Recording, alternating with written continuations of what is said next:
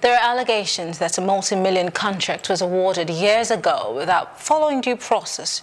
And this is usual news in Nigeria, but the accused is in support of a social media bill that wants to gag the media. And also, the border closure has been extended till January as uh, our neighbors plead with the federal government, but governments say Benin and Niger Republic are not adhering to the agreement. Well, this is Plus Politics, and I am Maryann Okon.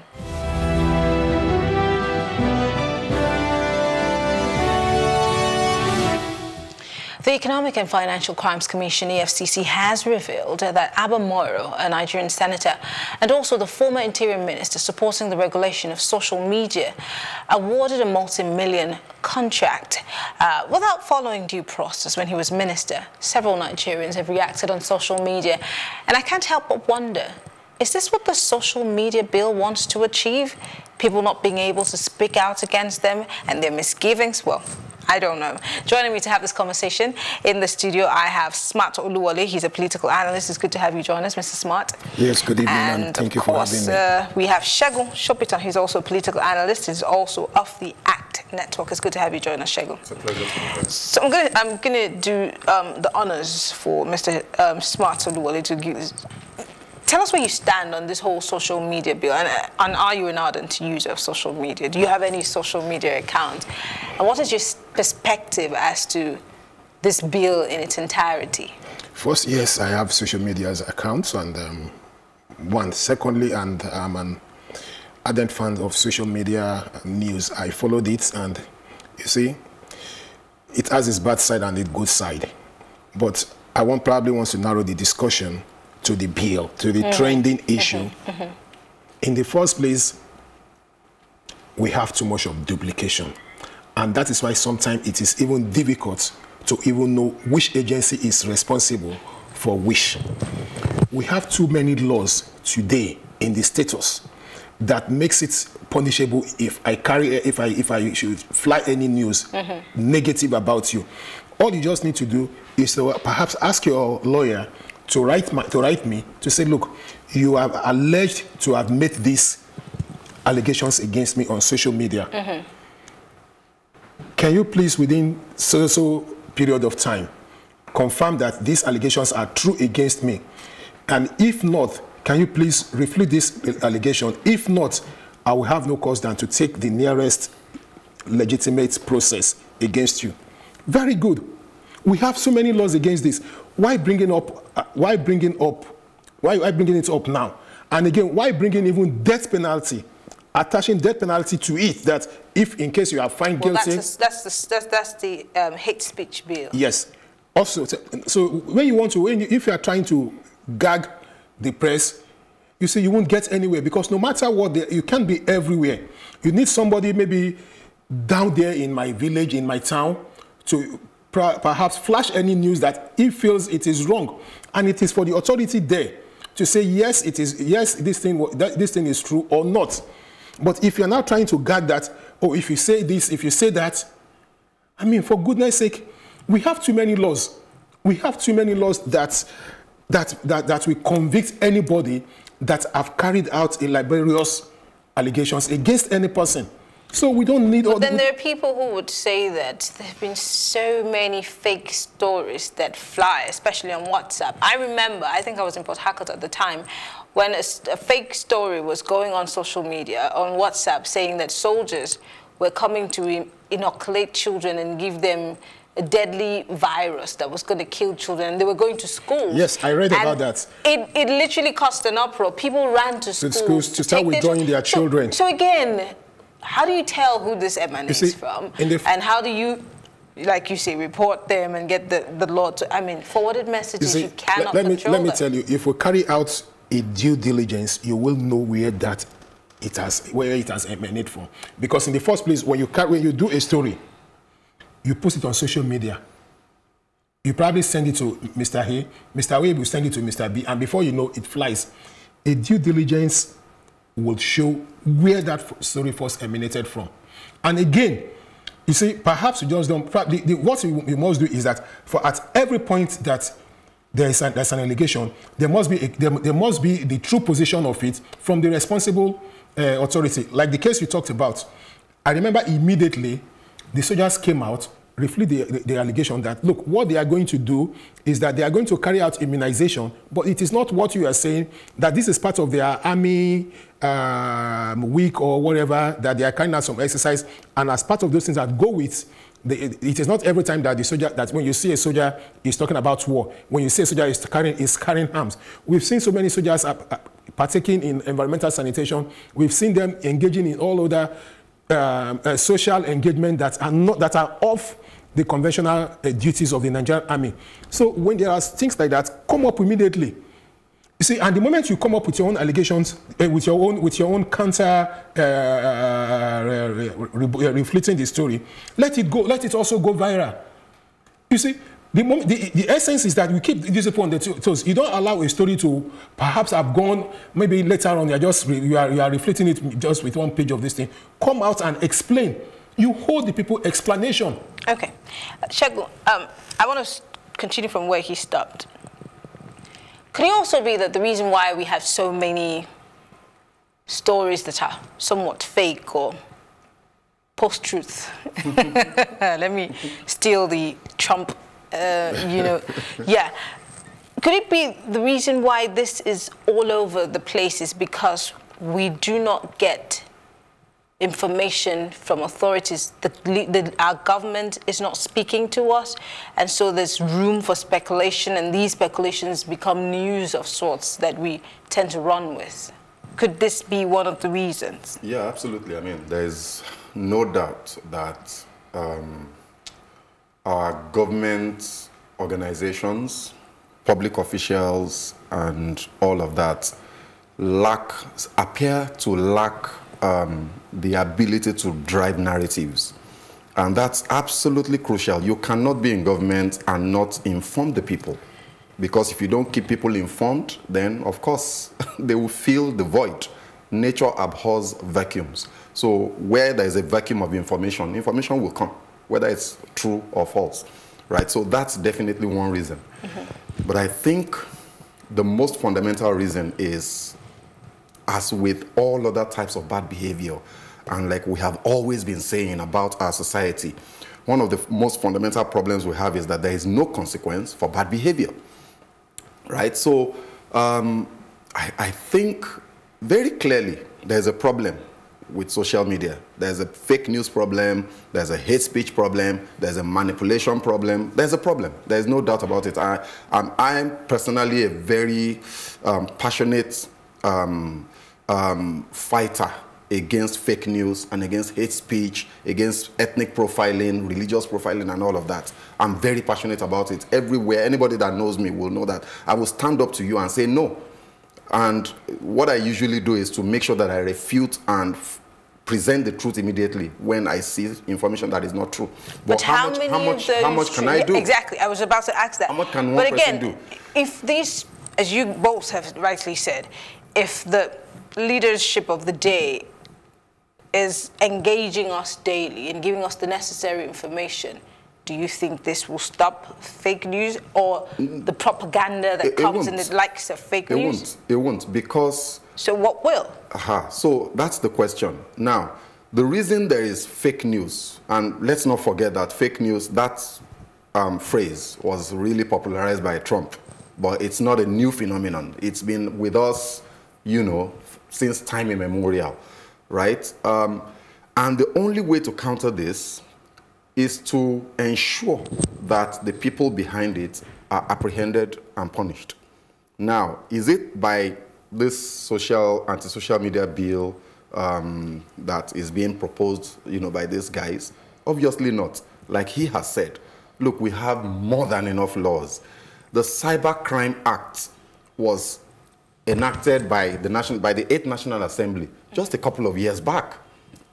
If you look at that, the provisions of that act, um, it's got elements that can be used to fight um, um, dissemination of false information deliberately to cause harm. Um, you know, so, so why, why enact a new law that appears to be so draconian um, especially by people who appear to have skeletons in their cupboard. Now talking about uh, Abba Moro, yeah. talking about the other gentleman I, I wanna, from Adamawa State. I, want to delve into that now. Yeah. And this is with, without prejudice to the person uh, in question. We, we all were here when Abba Moro was the minister. Yeah. For material. Yes. Uh, and, you know, it, it wasn't such a great time for him in office because he had all kinds of... But can we also say that if a person is proposing a bill or sponsoring a bill on the floor, that person has to be of unquestionable character. That person has to have a clean slate of sorts. If not, we're going to have to begin to yes, I, look at the undertone. Look, in do, the first place. How does that even work? Do we have to do that? Yes, we have, we have to. In the first place, they always say whoever is asking for equity must first of all come with clean hand. Whoever is proposing to sanitize a society. You must have seen, has been seen as somebody that has lived, that, that have lived above board. I will give and I'm sorry to speak over you. Do we have any of su such people we, yes, right now, still, as we speak? No, look, we have too many. That's the of the National Assembly. See, no, let me tell you. Yes, we have too many. It's just I that the right people does not get there. Them? Yes, we have too many Nigerians. No, no, we, no, I'm asking. Right now, at that... The guys who are on the floor, whether it's the green chambers or the red chambers, which of them fall in this category? Well, you see, it will be difficult. It will really be difficult to perhaps to, to bring out somebody because, you see, when you look at their antecedent getting into power, the kind of money they spend getting into, kind of, into, into power, the kind of toggery and all sorts of immorals that they, they put in in trying to get into power, you see, you probably see that you perhaps do not, you cannot get such. But you see, and that is where we, we Nigerians, even though if we can't get that, we Nigerians, we, we must force you to do the right thing. Have, how well have you been doing that? Of course, that's what we've been doing on. The, that's what we've been doing on social how media. How well have we been doing? We have been doing that. It's just for the fact that, you see, if you are weak, you can't be fighting against someone that is too strong because the same, the same vein, the same media you are going to use, the same media they are going to use, they will buy their way. Most of them are beginning to float newspaper houses uh, radio and television houses, they use theirs to suppress the to, to suppress. Most of them have media aids that they will send, and they will push their media aids from maybe some of the big houses. They will say, look, how much is this uh, organization paying you? Okay, come and be my personal, my personal assistant uh, on uh, media matters. Look, for any news that comes out about me, do whatever you do. Talk to your colleague. You must suppress that news. And you see, you see, you see them winning. But however, you find that Nigerian voices are always very, very loud, especially if we are united against a particular uh, uh, fight. Like the case of Abamoro. Abamoro, for goodness sake, in a sensible and in a, in a, and in, in, in, in, a, in a nation that knows what he's doing, Abamoro has no business being in the Senate. For goodness sake, yeah, he have no business being in the Senate. This is the same person, this is the person that was a minister for interior Look at what happened when they were going to conduct the uh, uh, interview for is, is it custom or immigration, immigration, or whatever immigration. All over the federation, all the stadia.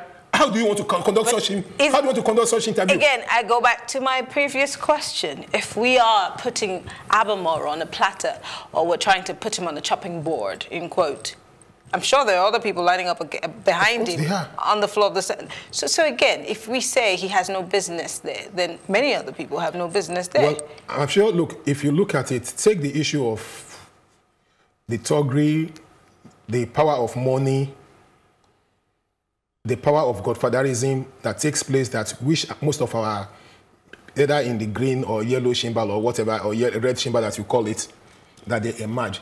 Sincerely speaking, we find out that sincere and credible persons hardly get to a, hardly get to a position of power in this country, especially if it has to do with elective positions, because they don't have the money. They don't. They don't. They don't believe that it must be. It must be do or die affairs to get into power. They feel yes, I want to serve. Why should I come to you and give you money?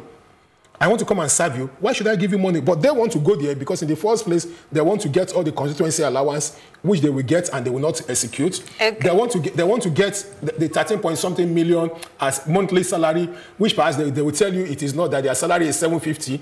And a senator was gracious enough to come out and say, well, what he gets every month is about 13 point something million naira as salary in a country where where everything are so backward, in a country where you cannot be proud of any health system, you cannot be proud of transportation system. I drove from the mainland to this place. I had to leave at about 4 because I'm coming to the island that should not take me more than 30 minutes. I have to, I have to leave, I have to set my time on time. In the first place, do I have business driving when I could pick a train, when I could come by rail? That's a whole kettle of fish for another conversation. Segun, um, because there, the moment this story broke, of course, social media was agog. Mm -hmm. Now everybody's saying kick it off, kick it away. I mean, just as he said, you're coming to equity without clean hands. Why? Now we know the undertone, but is there, is, does this bill really, I mean, take away the Abba Moro situation right now? Do we really need it? Is that what we should be prioritizing right now? Do we not have bigger fish to fry? I think we need it. Um, we need this bill? Absolutely. I think we need it, but not in this incarnation. So what, what we need is, because, you know, if you look at the Cyber Crime, Crimes Act, You don't think we need stricter set of sanctions, we just need a bill? We need, we need a law that will um, um, provide consequences for certain behavior, behavioral patterns. And we don't already as far have as, those laws? No, I don't think we do. I don't think we do, because we, we've, have, um, I'm doing a, we're on, on an exercise right now. I have a, a team, a legal team, that is looking into existing laws, mm -hmm. the mm-hmm. Cyber Crimes, Crimes Act, mm -hmm. the Penal Code, the Criminal Code, and all of that. And you find that, yes, you've got laws that can deal with libel and slander. They're not criminal, right?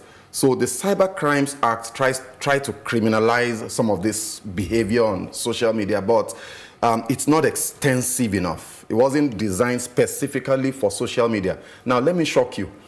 All jurisdictions, almost all, not all, the United Kingdom, the EU, Germany, France, they have social media regulation bills, laws, every single one of them, in various forms dealing with various angles of information but do, management. But do they seem so, like a gag order? That's the point. So I'm not saying we need to gag social media. That's not what I'm saying. I'm saying that there's a problem. There's a problem of mm, um, information management and fake news. And it's a potentially explosive problem. So we shouldn't wish that away because we don't like the guys that are pushing this and because their intentions are less than noble. It's obvious their intentions are less than noble, but do we need a bill? I believe so. Now, what we as a society should do is we shouldn't make the same mistake. We keep doing this. There is an issue at hand. Let us focus on that issue, the merits and the demerits. Analyze it dispassionately and uh, propose a better way to these guys rather than lose the narrative in all the drama. You know, there's a lot of drama about this now that is completely unnecessary. There's going to be a public hearing on this very soon because it's past the second reading. So at that public hearing, all civil society organizations, even eh, members of the public, you have a right. Just put a paper together and send it in. And, you know, so eh, a lot of times we're lazy even as Nigerians. We don't want to do, put the work in that needs to be done. So let's leave. How many of us has actually read that bill? How many of us have, has even seen it? We're just saying no to social media. Do we know what the, what the content is? So I've taken pains. That's why I know all this because I've taken pains. I've seen that bill. I've seen, for instance, that it, it actually plagiarized the Singapore law to a very large extent. They almost copied it word for word. You know, so it's silly. But do we need to control um, not control, regulate, to regulate our conduct, our common conduct on social media? I think we do. Because if we don't, um, there's potential damage and harm that can happen. And sometimes it could involve loss of life. So we need to be careful.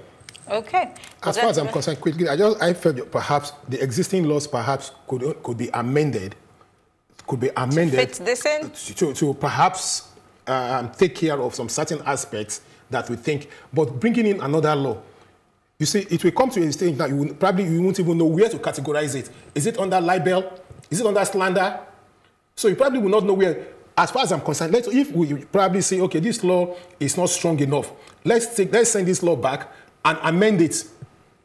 You understand? So that I just felt well, bringing in multiple laws, bringing in multiple laws, well, not, it's not helping us. Okay, all right.